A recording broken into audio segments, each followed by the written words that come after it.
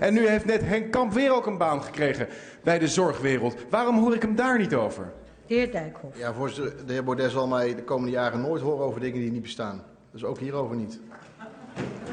De heer Baudet.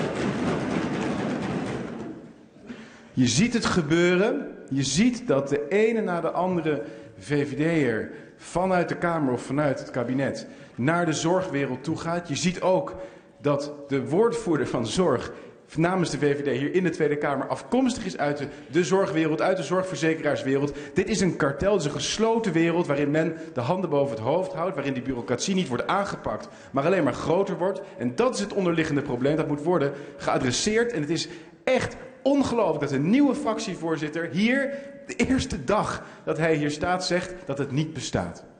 Ja, voorzitter, wat je ziet is dat bestuurders besturen. En als ze ergens goed in zijn, komen ze op een andere plek ook terecht. Ik snap dat de heer Baudet daar iets van maakt. Ik snap zelfs dat veel Nederlanders soms denken: goh, die naam zagen we eerst daar, nu zien we hem daar. Maar dat is natuurlijk maatschappelijk vrij logisch. Mensen die de topfunctie bij een bank bekleden, hebben vaak eerder bij een bank gewerkt. Dat staat alleen niet in de krant. Mensen die bij PSV in het eerste komen, komen ook niet van het hockeyveld afrennen. Die hebben eerst ervaring opgedaan in een lager elftal. Dus dat mensen die ergens goed in zijn in die sector uh, gewaardeerd blijven en dat er om gevochten wordt, uh, ja, dat vind ik vrij logisch. De heer Baudet.